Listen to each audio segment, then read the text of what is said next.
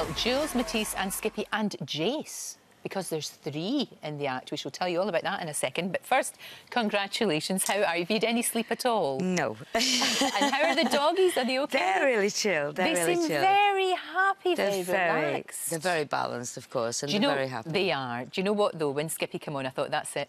He was milking it. How can you? You, can't lose. No. You got Skippy. yeah, you little He's angel. an angel, yeah. Oh, they're so so good.